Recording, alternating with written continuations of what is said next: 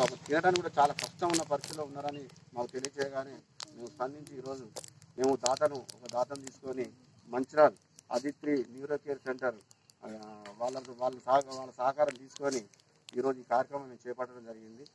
ఇదే కాకుండా మంచిర్యాల జిల్లా పరంగా ఎక్కడ ఏ పేదవారికి జరిగినా కూడా